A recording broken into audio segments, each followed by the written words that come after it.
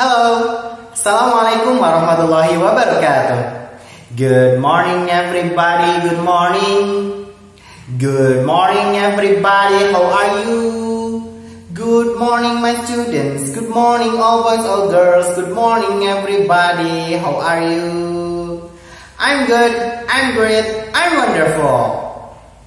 Halo anak-anak kelas 6 semuanya, how are you?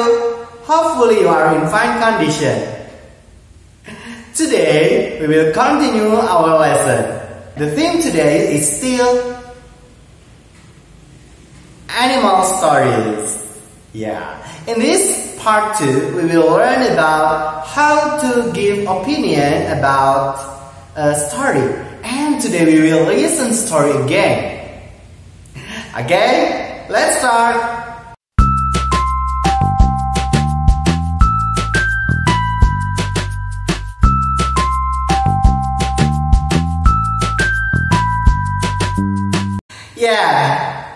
Today we will listen story about this, about the ant and the dove. Ya, pada pertemuan kali ini kita akan mendengarkan cerita tentang semut dan merpati. Dove sama artinya dengan pigeon, ya, sama merpati. Oke, seperti apa ceritanya? Nanti setelah cerita seperti biasa kita akan membahas beberapa hal. Tapi hari ini kita akan membahas tentang giving opinion atau memberikan pendapat. Baik, langsung saja kita dengarkan ceritanya ya.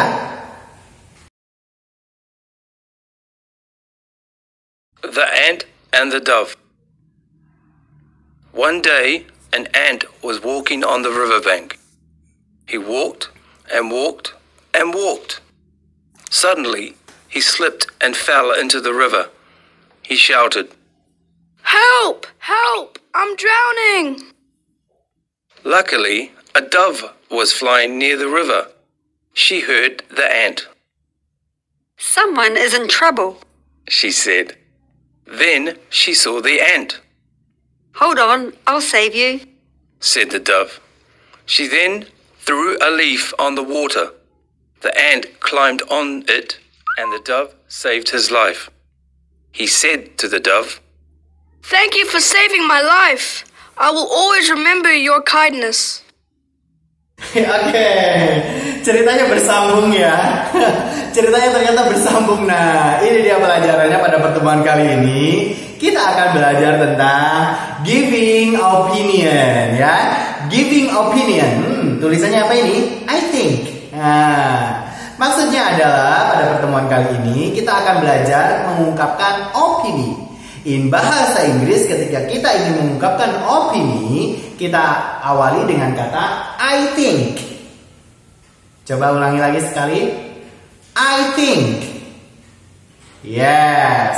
Pertanyaannya seperti apa untuk menjawab I think ini biasanya dikatakan atau ditanyakan dengan mengucapkan hmm, What do you think? Nah, seperti itu. Nanti jawabannya I think. Nah, ini dia ya jawabannya.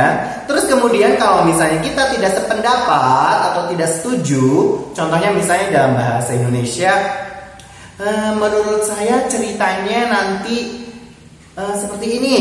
Nah, terus kamu bilang, ah enggak, menurut saya bukan seperti itu, mungkin seperti ini. Nah, begitu. Jadi ketika tidak setuju dengan seseorang, maka kita ungkapkan, hmm, I don't think so. I don't think so. Yes, good ya. Kita ucapkan lagi pertama.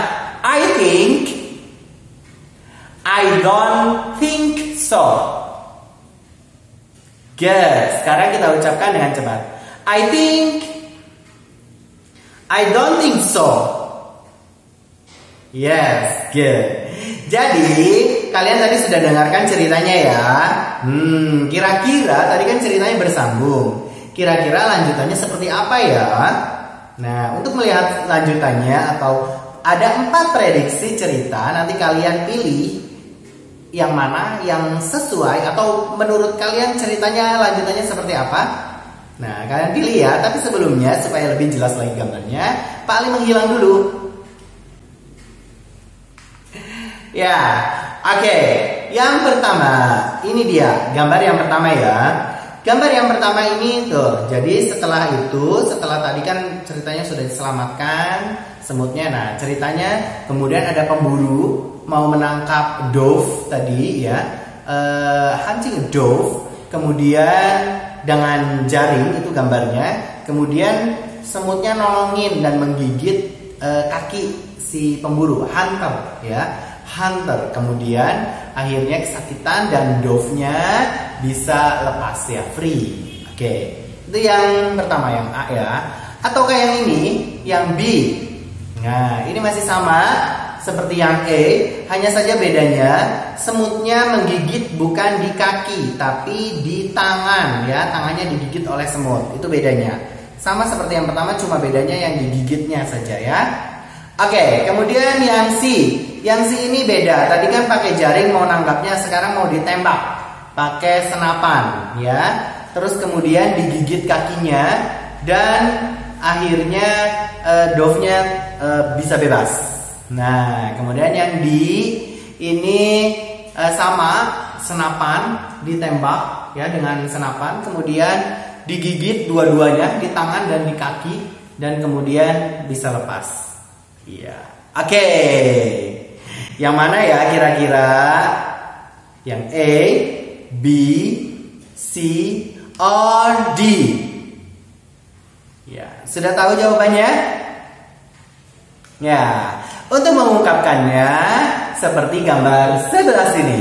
Nah, jadi untuk mengungkapkannya kita bilang I think. Tadi kita sudah belajar ya tentang I think atau artinya in bahasa Indonesia menurut saya Ya, saya pikir, menurut saya sama. I think.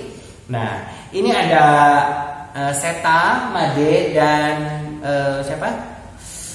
Oh, uh, hmm, mendadak lupa Pak Ali ya.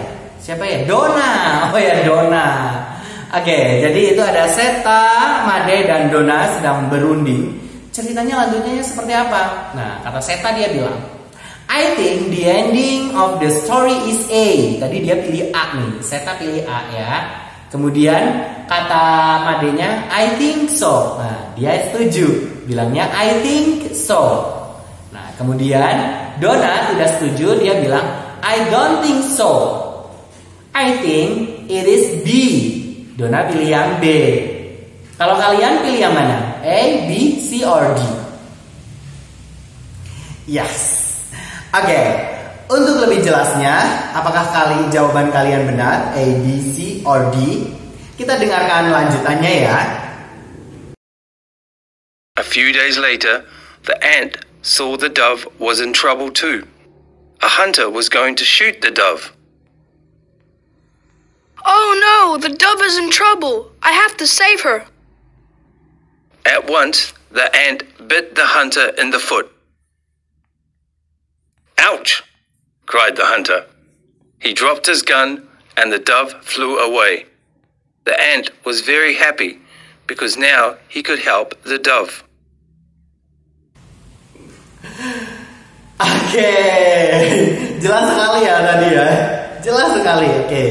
jawabannya tadi jelas sekali uh, ceritanya ya, cerita lanjutannya. A few days later, kemudian beberapa hari selanjutnya, Nah, bla bla bla bla. Jadi jawaban yang tepat untuk cerita selanjutnya adalah tada C ya, yang C. Oke. Okay.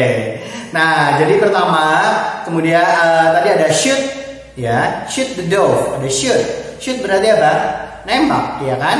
Bukan pakai jaring berarti ya, berarti pakai tembakan. Oke, okay, apalagi tadi uh, draw the gun, gun, tembakan, ada gun, ada Kemudian e, semutnya gigitnya di sebelah mana?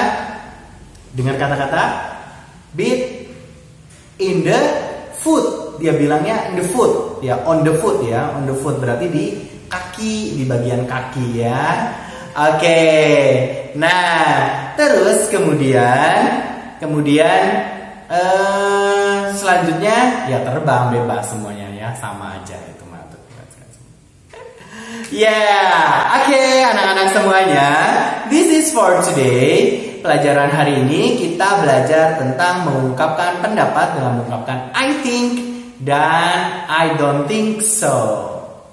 See you next week. Uh, minggu depan kita lanjutkan pembelajarannya di bagian terakhir di Animal Stories. See you next week and goodbye. Assalamualaikum warahmatullahi wabarakatuh.